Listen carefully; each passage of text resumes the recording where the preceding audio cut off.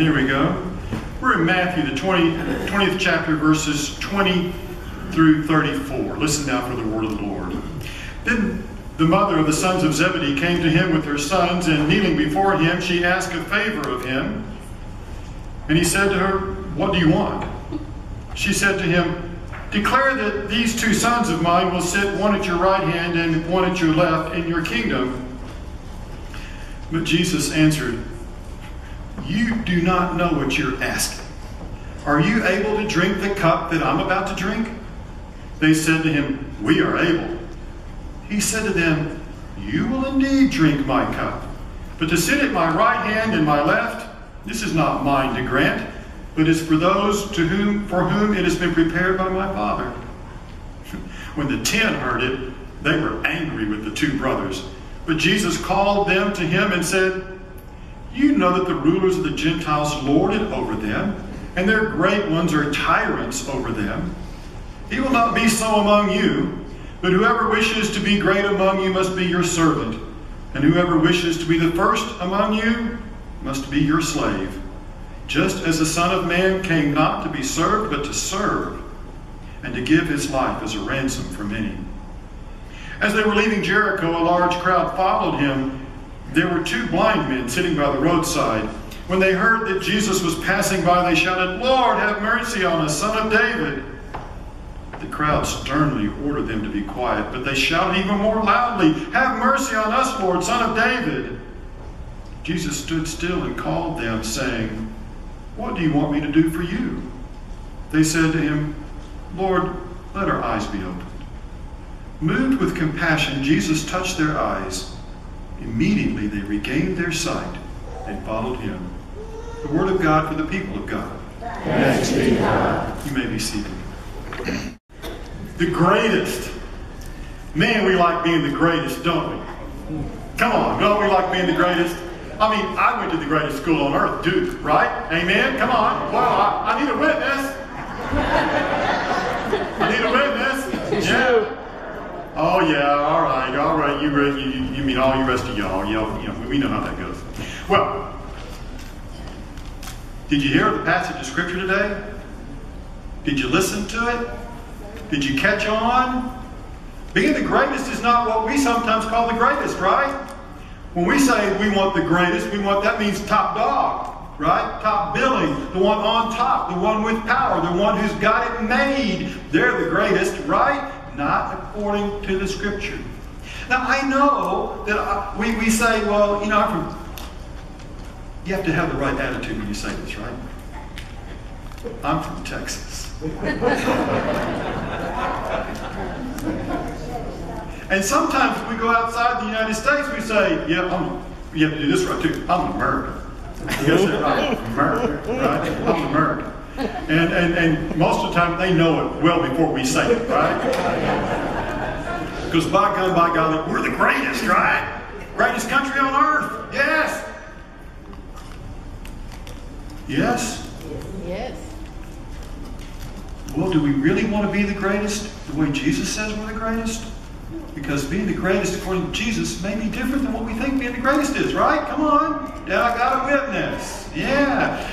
Being the greatest according to Jesus is maybe a little bit different than sometimes our definition. Just like James and John here, they, they kind of messed up, the sons of Zebedee. They, they wanted to be the greatest. They wanted to have Jesus' ear. There, there's a story that, that came out before he died, and, and uh, that was, oh, I just lost the name. I, uh, the guy with the glove. Michael Jackson. See, I knew you had it. Michael Jackson, when, when he was in Japan, you could buy for $100,000 a minute of FaceTime with Michael Jackson. Who was to sign up for that? Me and I tell you, they were in line. Can you imagine getting Michael Jackson's ear for 100 grand? That must have been a deal. Do I have a witness? No. No. Didn't go anywhere with But but isn't that what James and John, they wanted Jesus' ear, one on one side, one on the other. They wanted to be ahead of the table. They wanted to be the greatest in the kingdom. They wanted to be what they understood. And I dare say sometimes we understand what it means to be great. Influence, power. Is that what it means to be great? Well, let me tell you, I think as Americans, we are doing some great things right now. 4,000 of our soldiers are going to Liberia. Isn't that great? Do I have a witness? Amen. Yeah. Is that really what it means to be great? To send 4,000 of our best to go to Liberia to help people, to see that people get healed, to put boots on the ground, to be in harm's way,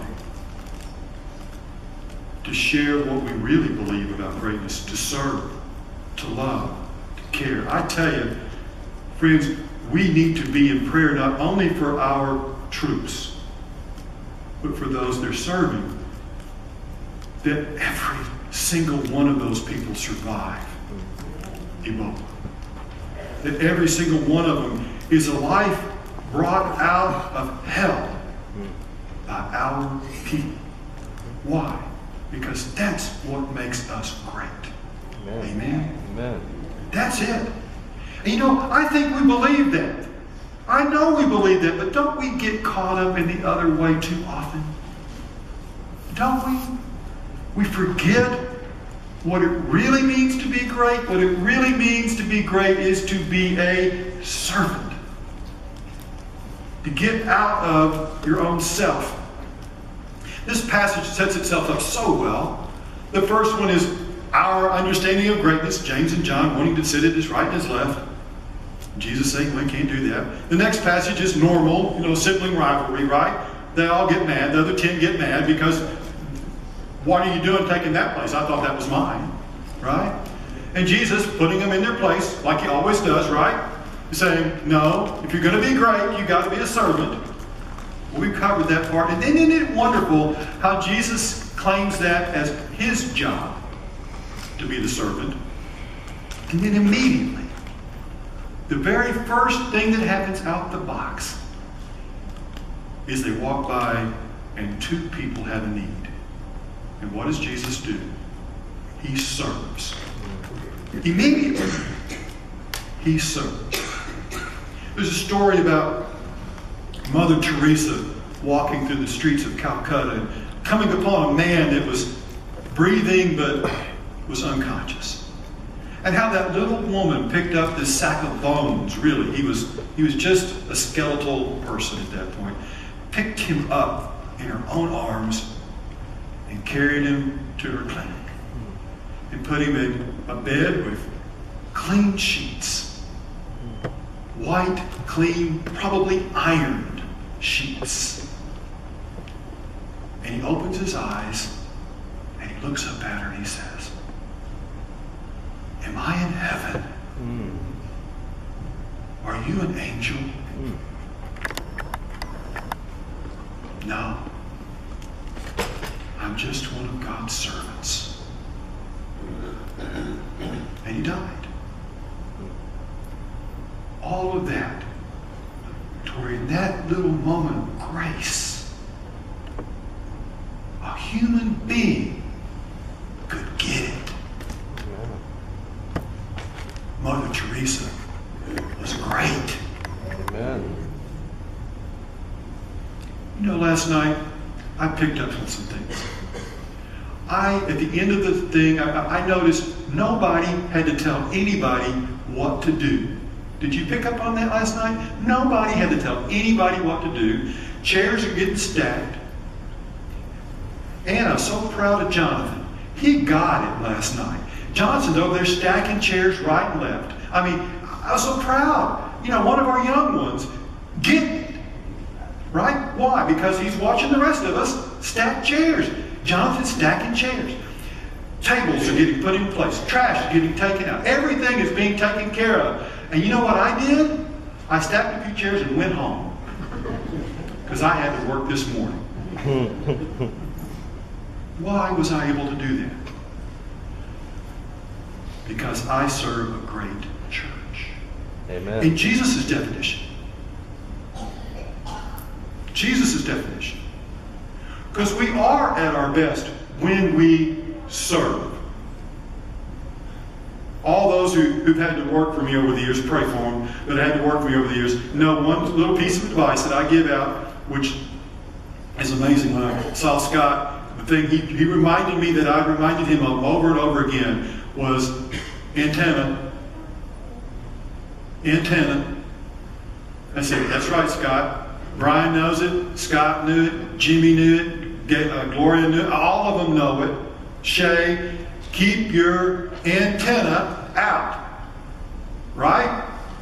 Why, church? Because God has somebody out there God wants you to serve. Keep your antenna out. Notice what's going on. Look around you. Get out of yourself. Great job with the children's sermon, by the way. Wasn't that great? Amen. God have a witness. Amen. Brian is teaching me so many wonderful things. you know, keep your antenna out, church. Notice, is there somebody that hasn't been paid attention to? Your job, pay attention. Is there somebody that's being left out? Pay attention. Do something about it. Use your hands. Frank, right? Wasn't that awesome this morning? Who would have thought that Frank could do something that clever? Man, it was awesome. Poor Pat. Wasn't that, it was just incredible. That was one of the best stewardship moments I think I've ever experienced. Ever.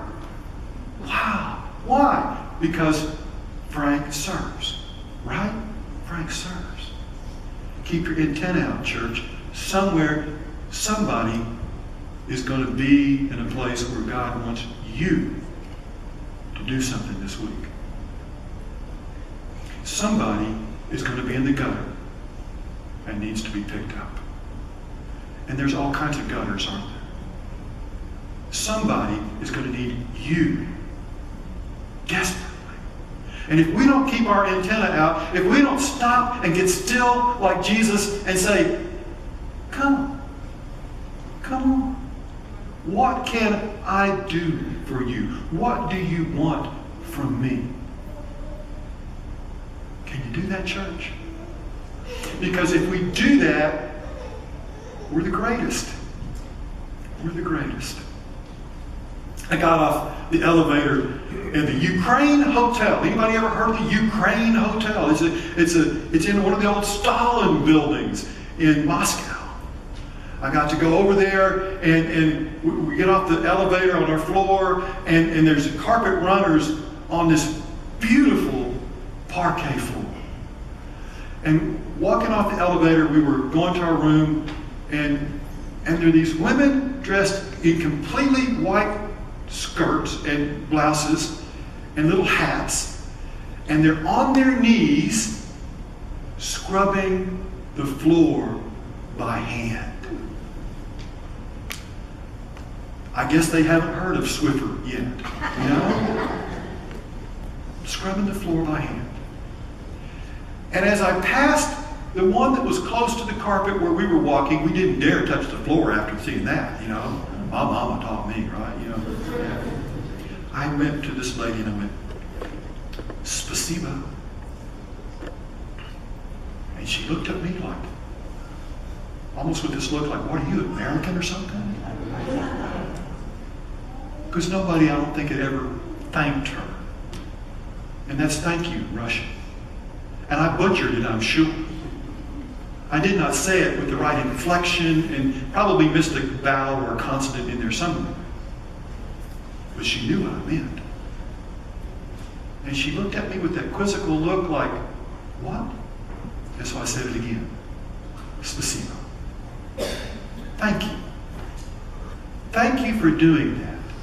And isn't that what we need to do every time we go to the hospital for those people that clean the room? Isn't that what we need to do with the, the nurses and the doctors? But not just the nurses and the doctors, the aides and all the rest who, who do the dirty work of our life. To be truly appreciative of the people that take care of us, the servants in our life. And then say in the back of our mind, it's not Bill Gates I want to be like. He's a nice guy. I like him and everything, all right? Don't go there. But, but maybe That aide that comes in with a smile and a joke and brightens up her day. And that's who I want to be when I grow up. You get it? That's who I want to be when I grow up. Because when she comes in or he comes in, they're the greatest. They are the greatest. Church, Jesus wants us to know the joy of life comes when somebody looks at you or looks at me and says, Am I in heaven? Am I in heaven? Are you an angel?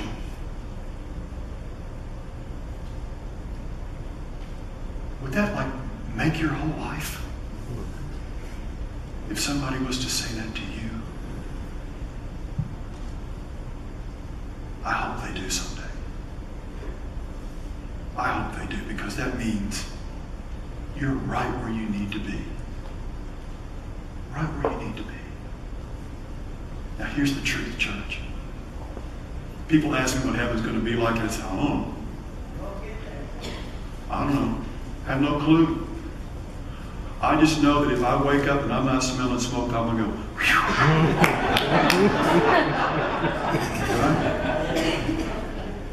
That's it right there.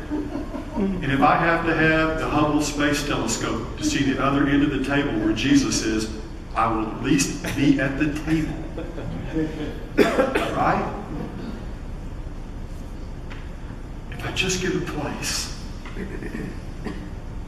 And don't you know there's somebody out there that you're going to see this week